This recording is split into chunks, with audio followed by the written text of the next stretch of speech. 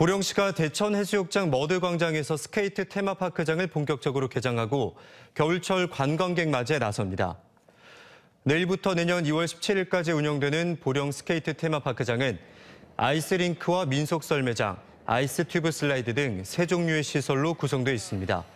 입장료는 무료이며 장비 대여료는 아이스링크와 민속썰매장은 2,000원, 아이스 튜브 슬라이드는 3,000원으로 이용할 수 있습니다.